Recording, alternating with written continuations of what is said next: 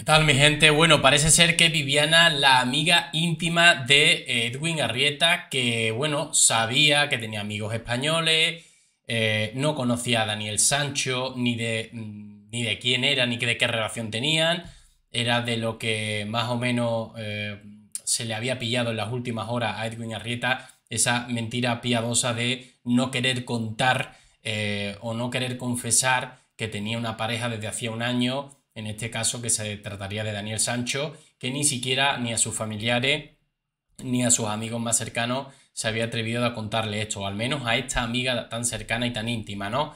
Bueno, vamos a ver lo que ha dicho también, eh, y es que por lo visto Viviana, que esto ya lo comentamos ayer, habría presenciado eh, vía móvil cómo se escuchaba el agua eh, o, o, la sangre que estaba limpiando mientras que hablaba con él. Fijar hasta qué punto Daniel Sancho no tuvo la delicadeza de eh, estar limpiando y decir, bueno, voy a parar, que se va a escuchar el agua, puede pensar qué está haciendo este hombre eh, y, quería adelantar lo máximo posible, eh, quitar el, cadáver, el cuerpo de Edwin lo antes posible, deshacerse de él hasta tal punto que hablaba por teléfono mientras que se escuchaba el agua caer sobre el cuerpo de Edwin, ¿no?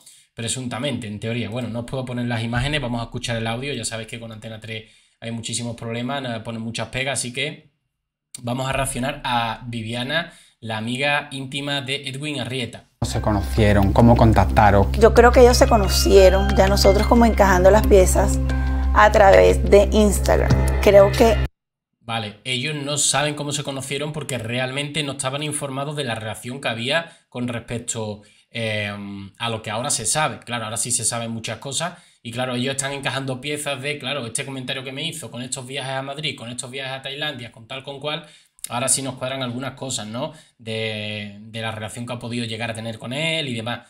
Pero ellos estaban ajenos a esta información, ¿no? Fijar hasta qué punto. Nosotros asumimos que fue por ahí, como tipo noviembre, octubre, noviembre, se contactaron por Instagram creería que fue Edwin que le reaccionó de pronto en alguna historia de las que él hacía, eh, de, como que hacía videos de cocina, de Edwin.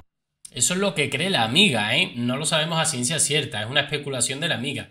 Creen que se conocieron por Instagram, que fue Edwin el que le habló a él, eh, y, claro, pues eh, si ahí empiezan un poco las conversaciones en torno a negocios, en torno a, oye, ¿y conocen Madrid? Pues a mí me interesaría hay una amistad, entre comillas, ¿no? Un feeling ahí. Y eso mm, lleva a conocerse y, a lo que todos sabemos ya, ¿no? Esa relación que han tenido, eh, que se les ha visto en muchísimas fotografías juntos, ya no solo con manga corta en verano, eh, tomando un café y un zumo de naranja, sino también en invierno con, con abrigos incluso, ¿no?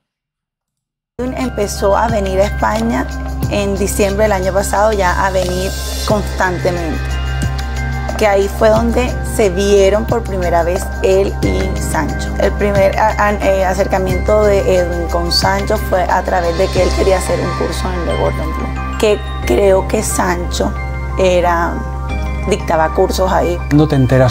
Vale, esto desmentiría lo que dijo el dueño del restaurante. No sé si estaría dando clase de, mm, de cocina en ese restaurante o en otro, pero me da la sensación que, es el restaurante de hamburguesas del que estábamos hablando porque es que aparecen hamburguesas. Entonces, claro, mm, no sé el motivo por el cual miente el dueño del restaurante y dice, no, no, él solamente hizo vídeos de YouTube. Bueno, al parecer parece que estaba impartiendo cursos, ¿no? tú de la existencia de Daniel Sancho? Bueno, yo me entero de la existencia de Daniel Sancho aproximadamente en enero, pues, pues más o menos en enero cuando él empieza a venir a, Madrid.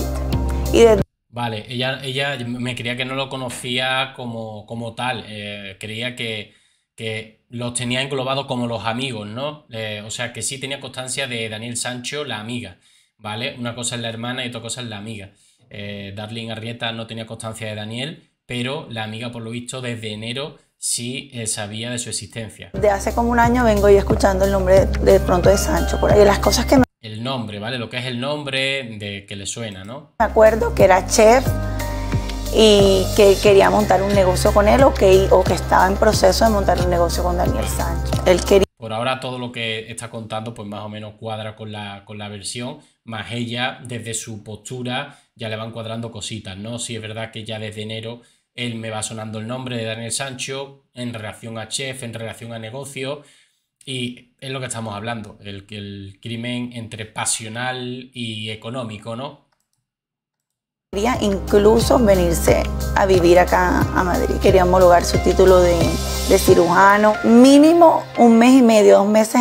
Aparte del negocio de, de, las hamburguesas o de un restaurante, Edwin Arrieta quería trabajar en Madrid, le interesaba o tenía ganas de eh, ser cirujano, convalidar ese título que, que, tenía en Colombia, convalidarlo en Europa, en España, eh, para probar suerte en España y, ya sabéis que, bueno, con lo que se gana en España, pues sí que es cierto que mandar simplemente 100 euros a Colombia, pues, pues bueno, eso traspasado a la moneda colombiana, pues sí que, sí que podría ayudar muchísimo a la familia, que ese era siempre el fin de Edwin, ¿no? Según nos contó la hermana, que era siempre ayudar, ayudar y ayudar a sus padres y a ella, ¿no?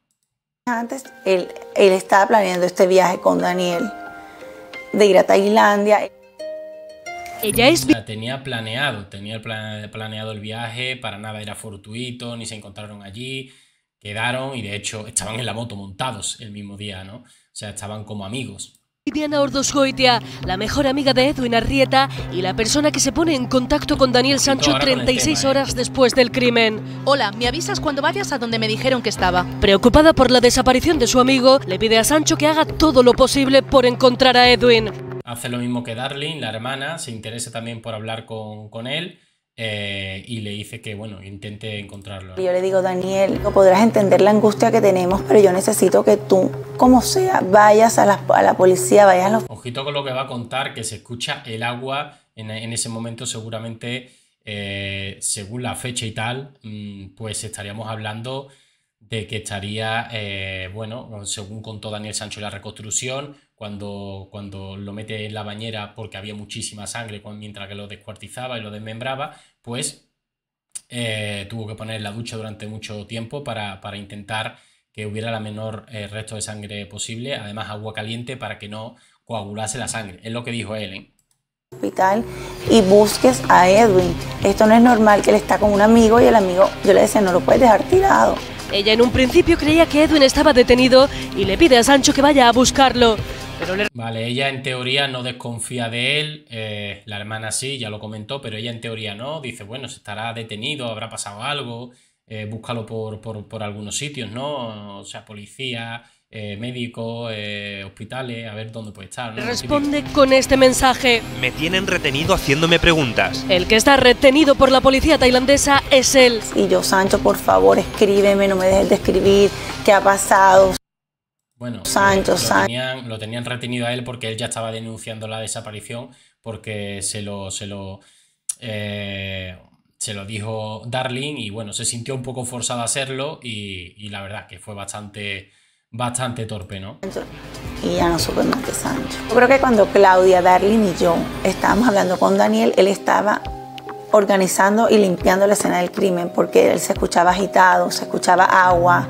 Se, escuchaba agitado, él, él, se refiere a él, a la persona, como nervioso, eh, se escuchaba agua, ojito, ¿eh? ojito, la torpeza extrema por todos lados, ¿eh?